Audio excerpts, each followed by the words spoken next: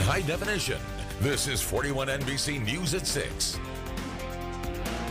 All right, guys. Well, nowadays it's hard to find a restaurant without a freezer or a fryer. Yeah, it sure is. That means the food is coming out fresh, Yeah. though, like at the Perfect Pear in Perry. Mm-hmm. Here's this week's restaurant report card.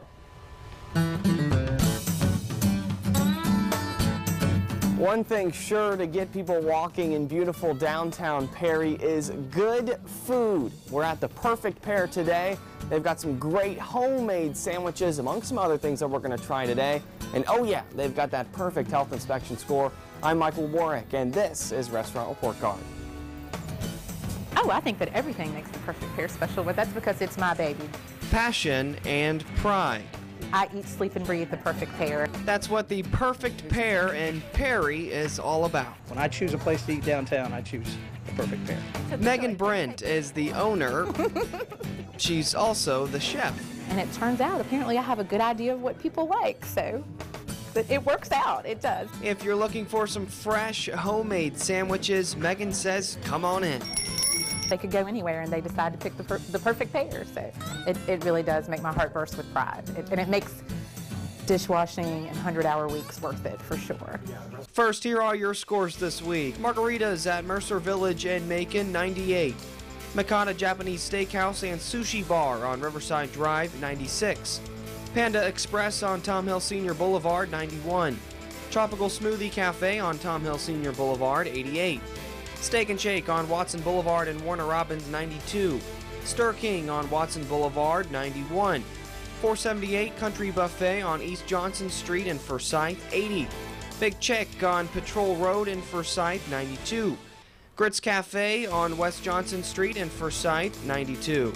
And Lucky Cafe on Harold G. Clark Parkway in Forsyth, 93.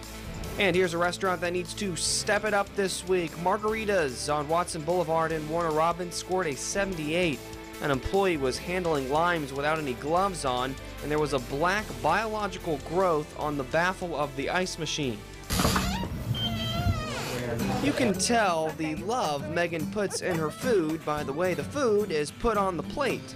Anybody can make a plate pretty, but can you make it pretty and make it taste good? So both of those things are very important. And to make it look that good, it takes effort. I don't have a freezer or a fryer, so um, it's very important that, you know, I think that shows every day that everything's fresh and hand cut, and we make everything every day. Okay, guys, it is eating time. I love mac and cheese. I love barbecue. The perfect pear has combined them for me. This is the grown-ups mac and cheese with barbecue on top. Look at how pretty the plate is as well. They really lay the food on there really nice and neat for me. Super excited to eat this. Let's take a bite. I'm gonna get some of the barbecue on the noodles here. Nice and cheesy mac and cheese. I love it. You know, that combo really works. Woo! That's good eating right there. The sandwich excellent as well. Great quality food.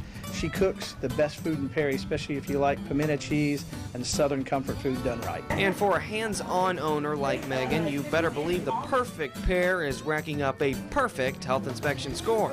I'm a bit of a stickler in the kitchen. Things are clean, tidy, and where they're supposed to be, and that's how I like for it to be. The perfect pear is making the grade this week. Until next time, this has been 41 NBC's Restaurant Report Card. That perfect pear also caters Ah. and January. You know, I had the bread pudding in there. Uh-huh. It tastes like Krispy Kreme donuts, like they just came out of the oven. No way! So good. Bread pudding that tastes like Krispy Kreme donuts. Yeah, it was amazing. Oh, I didn't man. get to show you guys me eating it, but I can assure you I downed the entire thing. Ah. I ate it all. I ate it all. For all your health inspection scores, head over to 41NBC.com.